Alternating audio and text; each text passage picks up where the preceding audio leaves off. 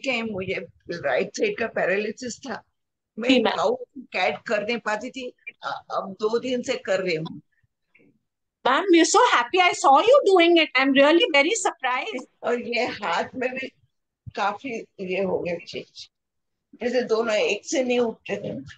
जी ma'am थोड़ा difference है। हाँ हाँ।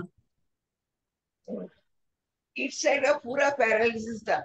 वो तो okay Ma'am, we are very, very happy, ma'am. You know, and you've been really regularly. I was worried. आप जब सब ये पैर उठा के कर रहे थे ना क्रिया मैं बहुत रेगुलर मैं मॉर्निंग में उठ के करती हूँ मैडम।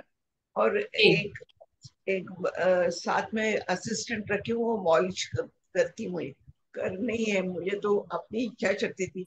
वैसे मुझे तो बच्चे मना करते पर मैं वही नहीं। अपने पैर पर खड़ा रहना है।